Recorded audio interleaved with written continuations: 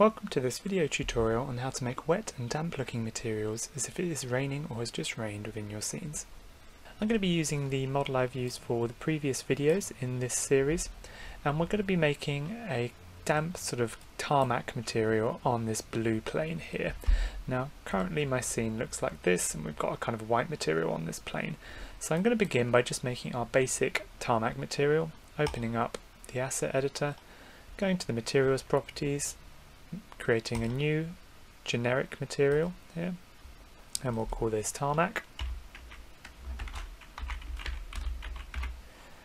And once that's made, I'm going to open up the side panel on the right here, and we're going to just add in our tarmac texture into our diffuse map under bitmap and just load in a tarmac texture. I'll put a link in the description of where I found this texture. Um, so that's now imported in there. And what we can then do is we're just going to select our ground plane in blue and we'll right click on our tarmac and apply that to the selection. Now for this I've also in my texture mapping I've mapped it at 500 by 500 by 500 millimeters to give it the size and if we have a quick look at the render preview here so now you can see my tarmac texture has been applied to that surface and at the moment it's quite flat quite even and it's obviously a sort of very dry tarmac texture now. Now what we want to do is we want to give the effect that it's just rained in this scene the tarmac is damp and shiny but in certain areas so it's not going to be kind of fully shiny across the board but we're going to give the illusion of small puddles within this surface. Now to do that I'm just going to start by lowering the brightness of this image. to do that I'm going to go back to the diffuse map here. I'm going to open up that texture just by clicking back on this blue box. Under parameters and color manipulation, we're just going to lower the color gain. And what this does is it just darkens the texture a little bit, just to make it a bit less bright. So I think somewhere around there should be good for this. Once we've done that, I'm going to then apply a reflection map in there to give it some shininess in certain areas. Now we don't just want to sort of ramp the reflection up like this because that would make it shiny across the whole board and it makes it look like the whole thing is flooded or there's water just sitting across the whole surface. We want it to be a bit more random and patchy than this. So to do that, instead of just changing the reflection color here, we're going to insert a map into this and I'm going to click on the small box to the next to the reflection color and we're going to drop in a noise B map. Now noise B has slightly more controls than noise A, which is why we're using that and we're going to throw that in there. And as you can see that's now dropped it in. Now at the moment my noise is quite small and it's quite a kind of mellow gradient between the black and the white scale. Now what we'll do is we're going to just up the size of this a bit and we'll have a look at the effect here. And what you'll start to see is that we're going to get sort of patchy areas which are slightly more reflective than others in this scene. Now because we kind of lower this back down so you can see it again. Because the noise at the moment is got quite a smooth gradient, we can't really see the difference between the very shiny areas and the not so shiny areas. So in order to sort of change the contrast of this image, we're going to play around with the levels here. And if you set the low level to around a 4.5,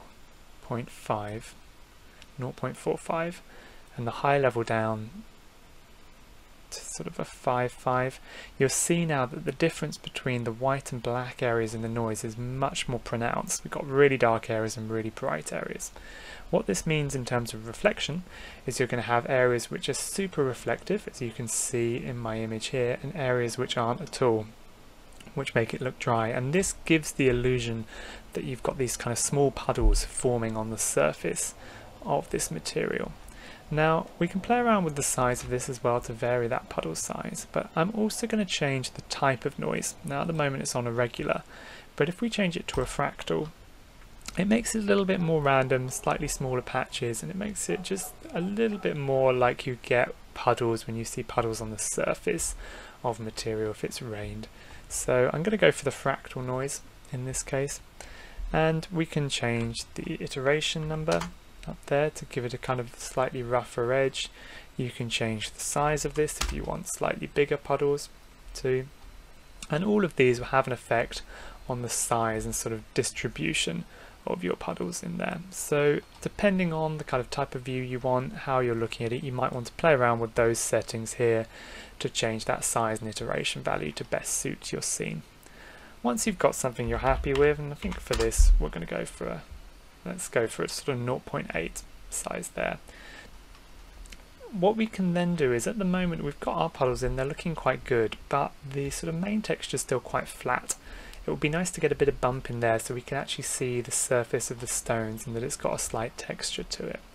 Now obviously when we're using a map like this we don't want the texture to be applied to the areas that are reflecting because that's supposed to be a kind of water material. So if we go to our bump, to material options and then maps under here, bump and normal mapping, we'll turn it on. And under the bump mapping I'm just going to go in.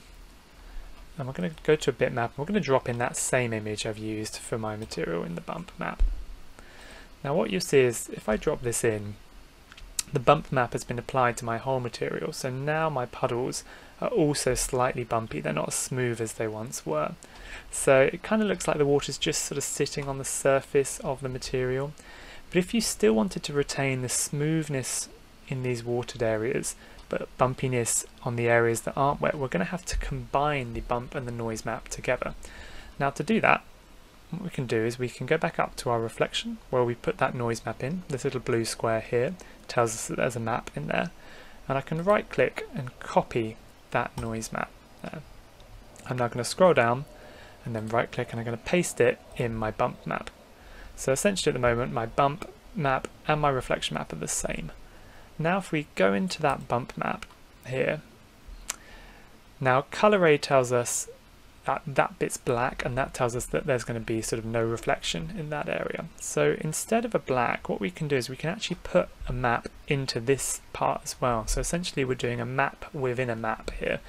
So I'm going to open up that, click on bitmap, and this time we're going to put that texture into our noise map.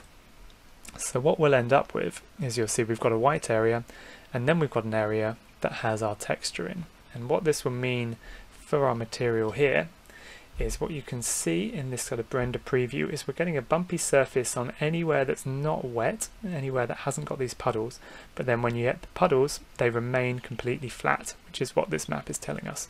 So anywhere that's white is remaining completely flat, anywhere that's dark has got our bumpy surface in. So essentially we're just combining those two maps together to give us some bump to these kind of to this texture, but to keep the flat areas looking like they're a small puddle on the surface. So that was just a quick tutorial on how to create sort of wet material look in V-Ray for Rhino. This could be used for concrete, sort of any floor material you have, you can combine this technique and use it there. So I hope you found this tutorial helpful and if you want any other tutorials on creating materials and textures in V-Ray and Rhino, please check out the videos on the channel. Thanks for watching.